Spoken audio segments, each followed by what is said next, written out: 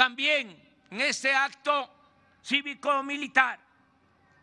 Agradezco manera fraterna, sincera, la lealtad de las Fuerzas Armadas de México, tanto de la Secretaría de Marina como de la Secretaría de la Defensa Nacional, con su nueva rama, la Guardia Nacional, institución responsable de garantizar con eficiencia y respeto a los derechos humanos la seguridad pública en nuestro país.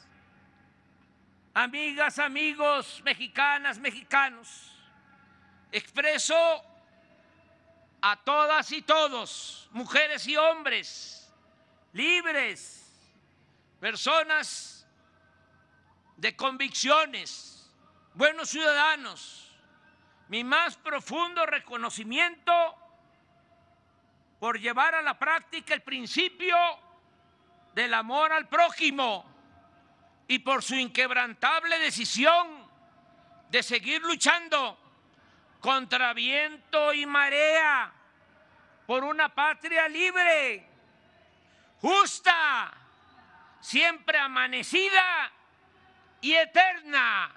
¡Que viva México!